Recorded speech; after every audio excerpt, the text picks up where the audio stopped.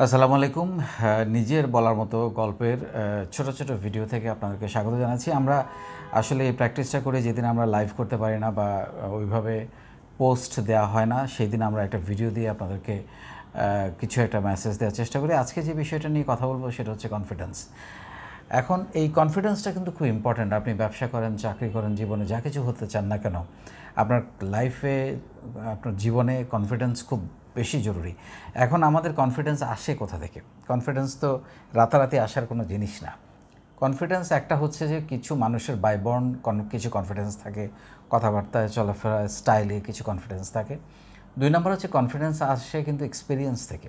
আপনি কোনো একটা কাজ করেছেন বা কোনো একটা জিনিস আপনি চেনেন, জানেন, বা আপনি যেমন ধরেন আমি যদি বলি যে আপনি যখন আপনার ঘরে হাঁটবেন, তখন আপনি যেই বডি ল্যাঙ্গুয়েজে ঘরে হাঁটবেন। কারণ you know your rooms and কী আছে, কোথায় আছে ড্রয়ার টান দিলে কোথায় পাওয়া যায় সেখানে একটা কনফিডেন্স পাওয়া যাবে। কিন্তু আপনি যদি একটা নতুন জায়গায় যান, কোনো একটা নতুন ঘরে যান, সেখানে কিন্তু আপনি একটু দেখে শুনে তাকিয়ে আপনি চলার চেষ্টা করবেন। কারণ ইউ ডোন্ট নো যে ওখানে বসার জায়গাটা কোথায়, ওখানে এসির সুইচটা কোথায় বা ফ্যানের সুইচটা কোথায় ইউ ডোন্ট নো সো এটা খুব স্বাভাবিক। মানে চেনা জানা এবং অভিজ্ঞতা দিয়ে কনফিডেন্স তৈরি হয়। আর একটা হচ্ছে পড়াশোনা। আপনি যদি পড়াশোনা করেন, আপনি কিন্তু ইউ ক্যান ইমাজিন যে হোয়াট ক্যান বি হ্যাপেন্ড সেইখান থেকে একটা ছবি আপনি আঁকতে পারেন। সো এই তিনটা জিনিস যদি আমাদের থাকে, তাহলে কনফিডেন্সটা কিন্তু খুব সহজ। কিন্তু কনফিডেন্সটা নষ্ট করে কী কী জিনিসগুলো আমি আপনাদেরকে একটু ছোট করে বলে দিই। কনফিডেন্সটা নষ্ট করে প্রথমত হচ্ছে জানার অভাব শেখার অভাব এবং আগ্রহের অভাব। আপনার ভেতরে অনেক স্বপ্ন আছে, আপনি অনেক কিছু জানেন, করতে পারেন কিন্তু আপনি কখনো সেটা ট্রাই করেন নাই। আপনার কনফিডেন্স কোনোদিন তৈরি হবে না।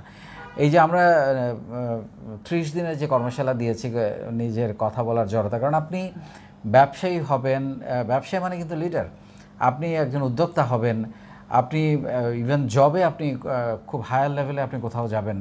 আপনার তো দশজন মানুষের সামনে কথা বলতে হবে। আপনার একটা টিম লিড করতে হবে। টিম লিড করতে হলে কথা বলতে হবে। সেই কথাটার জড়তা কাটানোর জন্যই আমরা চেষ্টা করছি। এখন যারা শুরু করেছেন, তারা কিন্তু কনফিডেন্স পেয়ে গেছেন। আর যারা এখনও ভয়ে লোক কি বলবে, মানুষ কি বলবে, আমার উচ্চারণ ঠিক হবে কিনা, আমার বসা ঠিক হবে কিনা, তাকানো ঠিক হবে কিনা, এত কিছু নিয়ে যারা ভাবছেন, তাদের কিন্তু ওই যে, ওইটাই সমস্যা কনফিডেন্সের অভাব। সো কনফিডেন্সটা লাইফে খুব জরুরি এবং আমি সেটার জন্য যেটা আপনাদের বলব কনফিডেন্স নষ্ট করে আরেকটা জিনিস হচ্ছে কুসংস্কার। আমরা অনেক সময় সকালবেলা বের হওয়ার সময় যদি একটু কোথাও একটা ধাক্কা খাই বা কোথাও একটু লাগে বা পিছন দিকে কেউ ডাক দিল, আমাদের মধ্যে একটা ভয় কাজ করে এবং সেইটা আমাদের কনফিডেন্স লুজ করে। এবং এটা লুজ করে ততক্ষণ, যতক্ষণ আপনি ঘটনাটা মনে রাখবেন এবং এটা দূর করার সহজ উপায় হচ্ছে এটা দ্রুত ভুলে যাওয়া, অন্য কোনো টপিকে চলে যাওয়া। আপনি এটা যতবার মনে রাখবেন, ততবার আপনার ভুল হবে। কারণ হচ্ছে যে, আপনি ওইটাই ভাবছেন, একটা ঘটনা যখন ভাবে যেমন ধরেন আমি আরেকটা জিনিস বলি, এটা খুবই সাইকোলজিক্যাল আপনি যদি কোনো একটা জিনিস খাওয়ার সময় ভাবেন এটা আমার খেতে ভালো লাগছে না, আপনি খাওয়ার পর দেখবেন অস্বস্তি লাগবে। কারও কারও দেখা যায় ওখান থেকে ফুড পয়জনিং হয়ে যাচ্ছে বা অন্য কোনো সমস্যা হয়ে যাচ্ছে। সো জিনিসটা হচ্ছে যে আপনাকে এই জিনিসটা ফিল করে, আপনার মনে হচ্ছে খাওয়ার সময় আপনার খেতে ভালো লাগবে না, খাবেন না।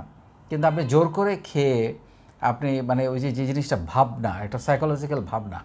সো আমাদের এই জিনিসগুলো থেকে একটু দূরে থাকতে হবে যে অনেক সময় অনেক সময় বলে যে, তুমি আমার সকালটাই খারাপ করে দিলে। আসলে এগুলো খুব বাজে কথা।